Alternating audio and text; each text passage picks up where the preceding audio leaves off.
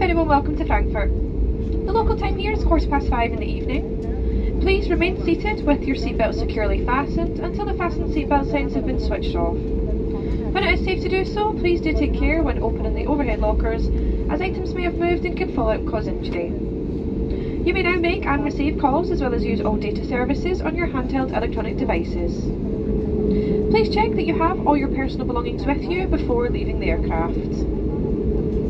If you require any assistance here in Frankfurt, please speak to our ground colleagues who will be happy to help.